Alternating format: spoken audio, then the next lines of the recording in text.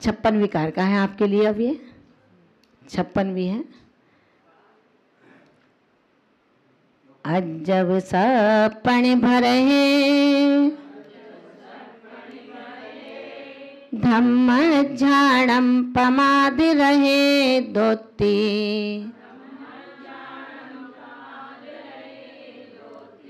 ओदित्य जुनो दिठम णहु मर्ण दिसोहु को दिठी। अजब सपन भरहे। धम्म झाड़म पमाद रहे दोती।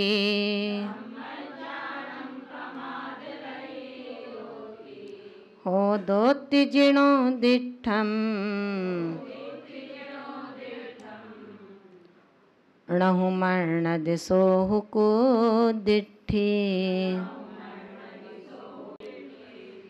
आचार्य भगवान कहते हैं,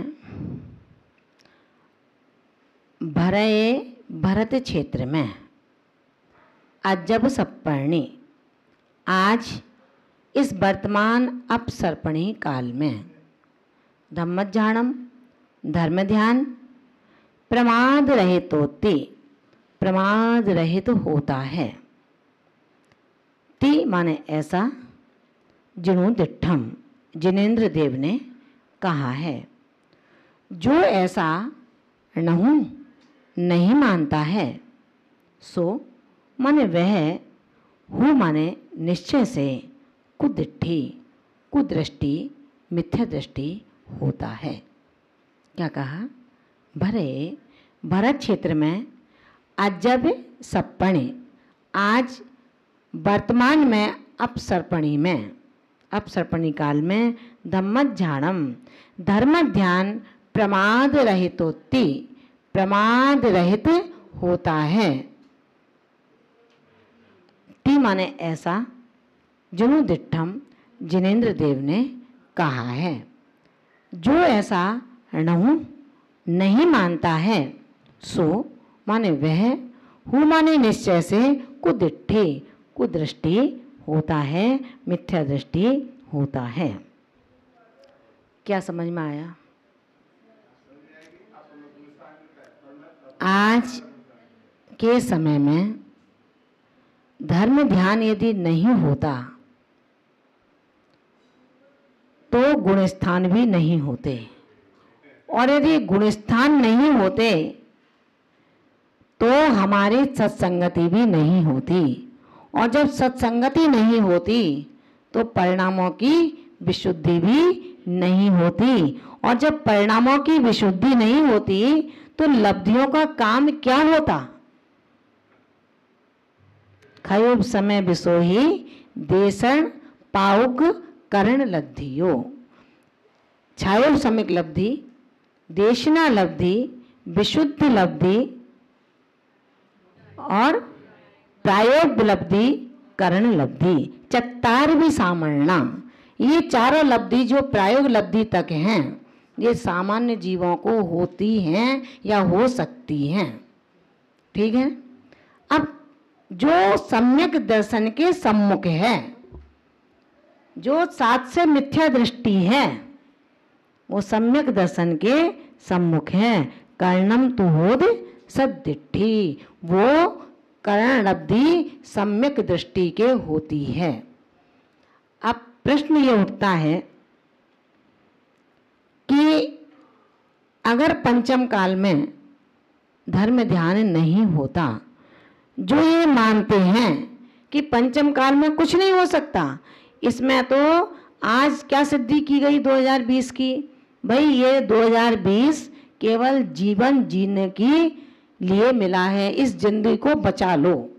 अगर जैसे आप बचा सकते हो, अगर आप 21 में प्रवेश कर जाएँगे तो समझना आपने ज़िंदगी और मौत की जंग को जीत लिया है। आचार्य भगवंत कहते हैं कि इसको ही तो मैं मिथ्यात्पना कहा है। आप धर्म ध्यान में लगे रहो, चाहे 2020 आए और चाहे 21 आए। 21 आने के बाद कोई अपर अमर नहीं होंगे। 21 के बाद कोई मृत्यु नहीं होगी, ऐसा नहीं है। जिसकी आयु के निषेकों का जब पूर्णता होगी, तब उसकी मृत्यु होगी। आचार्य भगवंत कहते हैं, इस दुखम हुंडप सर्पणी के विषम काल में धर्मात्मा, गृहस्थ व मुनियों के धर्म ध्यान का कोई निषेध नहीं है। धर्म ध्यान के माध्यम से वो इस काल में नहीं, लेकिन जब उसके योग्य काल आएगा, तब वो शुक्ल ध्यान को प्राप्त करेगा। लेकिन वर्तमान में शुक्ल ध्यान का निषेध है। वर्तमान में शुक्ल ध्यान नहीं हो सकता, लेकिन शुक्ल ध्यान नहीं होगा, लेकिन शुक्ल ध्यान के हम परिणाम बुद्धिपूर्वक बना सकते हैं।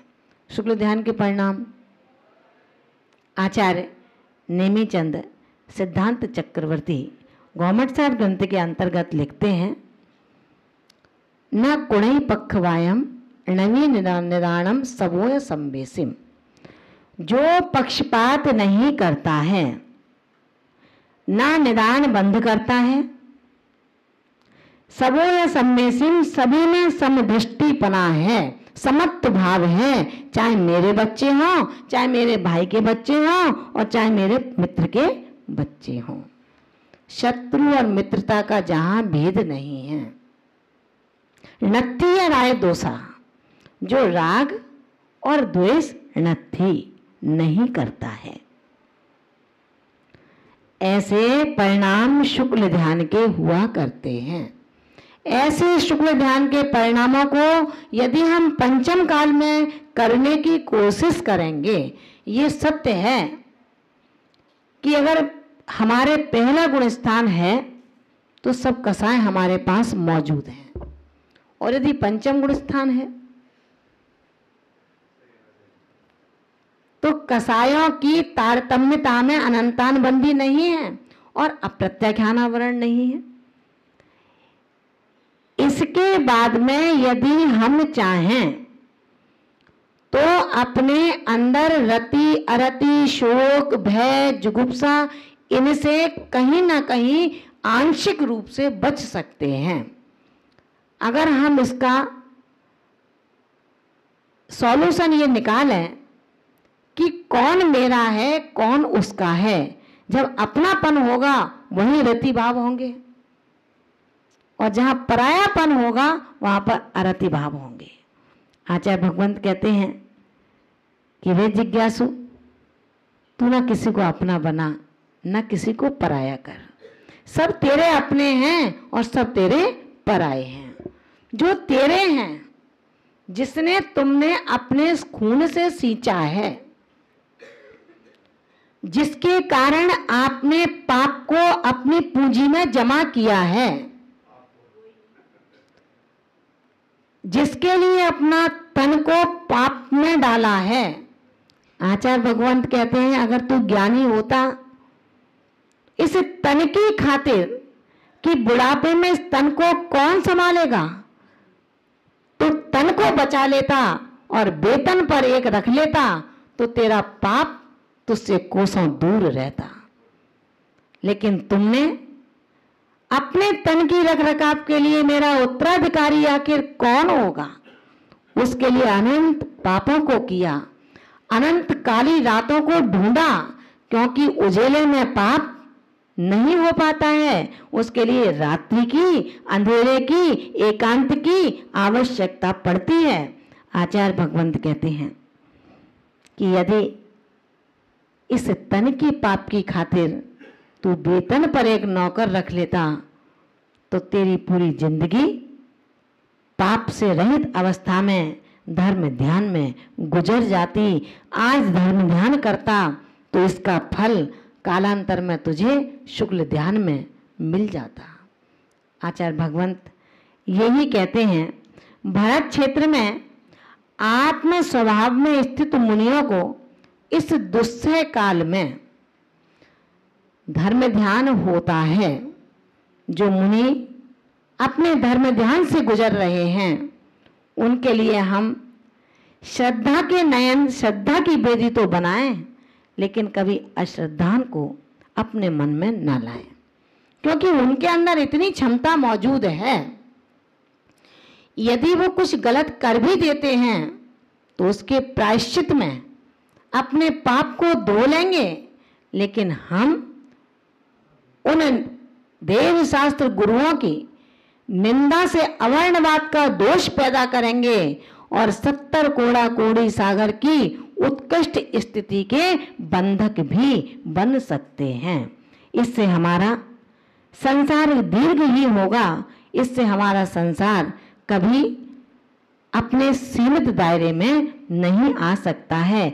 इसके बदले में यदि हम रत्नत्रधारियों की शरण में जाकर के जो उन्होंने गलती की है, हमें लगता है कि हम, हमारे यहाँ पर आई हुई आरिका संघ ने आए हुए मुनि संघ ने आए हुए त्यागी प्रति ने, वो तो शास्त्र पढ़ते ही नहीं है, वो तो धर्म ध्यान करते ही नहीं है, जो वो नहीं करते, जो उनके आवश्यकों में हमें कमी लगती है, उनके 28 मूल गुण पालन करने में कोई कमी नज़र अगर आपको आती है तो आप ऐसा साहस क्यों नहीं भरते? क्यों नहीं ऐसा अदम्य कदम बढ़ाते कि मुनि बने?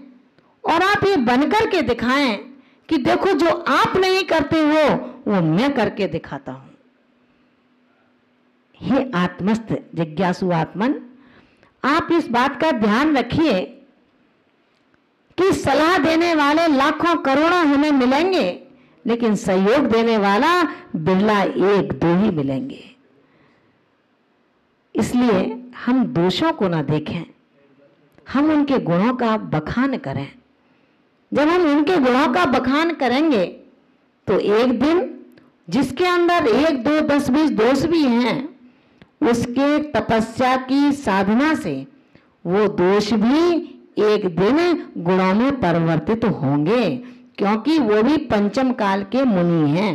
वो भी पंचम काल की आर्यिका हैं। हम किसी रत्नत्रधारी के लिए छीता कसी ना करें, टिप्पणी ना करें, गुटबंदी ना करें।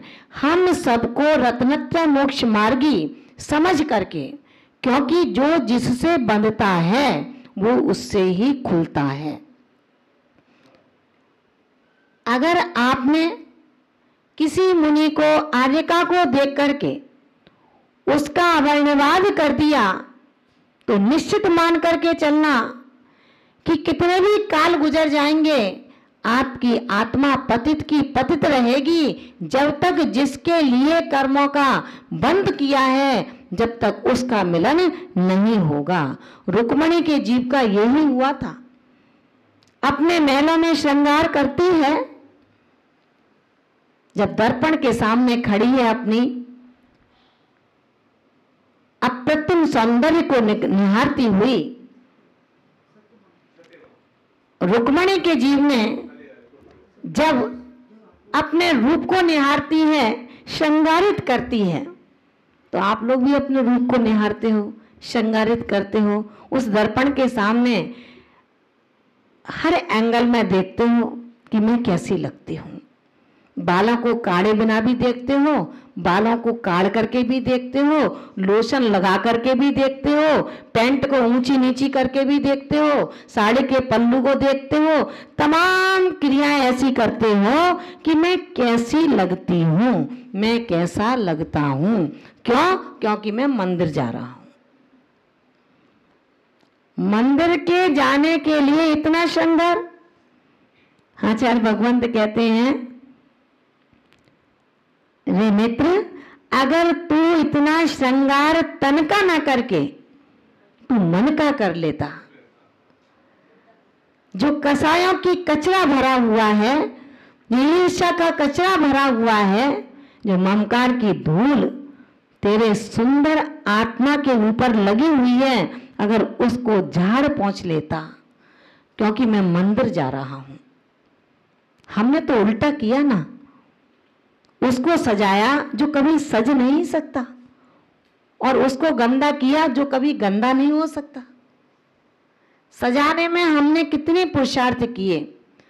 हिंसा हिंसा भी की, व्यविचारी भी बने और धर्म के परिहार के निमित्त भी बने। न जाने वो लोशन कितने कितने जीवों का कलेवर होगा। जिसको हमने रगड़ रगड़ कर अपने मुँह पर लगाया। ना जाने कितने खरगोशों की आह उस सैंपल में होंगी, जिससे आपके बाल रेशम से बने और आप उन बालों के लिए इठलाती फिरती रहे। अपने आँखों में एक बार उस लोशन के सैंपल का टेस्टिंग कराओ ना। उसके लिए तो हम कतई तैयार नहीं होंगे। लेकिन वो निरीह पशु, मूक पशु, जिनको संभालने वाला कोई नहीं है। उसके लिए हम कुछ भी करवाने के लिए तैयार हो जाते हैं, आचार्य भगवंत कहते हैं। आप मंदिर में आए हैं, मन का श्रृंगार करके आते, तन को श्रृंगार करने की अपने आप कोई आवश्यकता नहीं थी। जो तपोधनों की पूजा करता है, स्तुति वंदना करता है। उसे आचार्य समंत भद्र स्वामी कह देते हैं, उच्चे गोत्रे प्रणते, भोगो दाना दुपासना पूजा। भक्ते सुंदर रूपम स्तवना कीर्त तपो निधुसु। जो तप के निधि हैं, खजाने हैं, जिन साधुओं की हम निंदा करते हैं जिनके लिए हम अपने गुटबंदी करते हैं, एक ग्रुप उस साधु के लिए है, एक ग्रुप उस साधु के लिए है। आचार्य समंत भद्र स्वामी, जो कलिकाल सर्वज्ञ कहे जाते हैं, कालांतर में कभी तीर्थंकर बनने की पात्रता भी रखते हैं। ऐसे कलिकाल सर्वज्ञ समंत भद्र स्वामी, रत्नकरण ग्रंथ राज के अंतर्गत कहते हैं कि ऐसे तपोधनों को नमस्कार करने से उच्च गोत्र प्रणते। प्रणते माने प्रणाम करने से, नमस्कार करने से उच्च गोत्र की प्राप्ति होती है। भोगो दाना दुपासनाथ पूजा, उनकी उपासना करने से भोगों की प्राप्ति होती है। उनको दान देने से हमें भोग मिला करते हैं। और उनकी भक्ति करने से सुंदर रूप की प्राप्ति हो जाया करती है। अब हम भक्ति नहीं करना चाहते और पाउडर लगा करके लिपस्टिक लगा करके, ना जाने क्या क्या आपके आइटम आते हैं श्रृंगार के, ये मुझे पता नहीं है, लेकिन इतना ज़रूर पता है कि आप अति व्यस्त हैं अपने श्रृंगार के लिए, उस देह के श्रृंगार के लिए, जो देह किसी दिन का नहीं है।